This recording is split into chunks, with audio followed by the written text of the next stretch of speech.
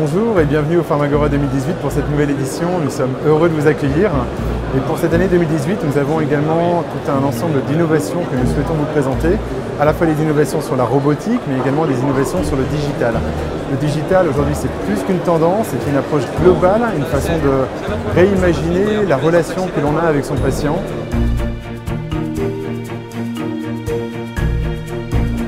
L'expérience client, c'est tout ce qui se passe autour du point de vente. Et l'avenir du point de vente passe par le digital. Et le digital, ce n'est pas un écran par-ci, un écran par-là. C'est une approche globale qui a été réfléchie pour faire de cette expérience une expérience unique, une expérience avec une valeur ajoutée qui soit exceptionnelle.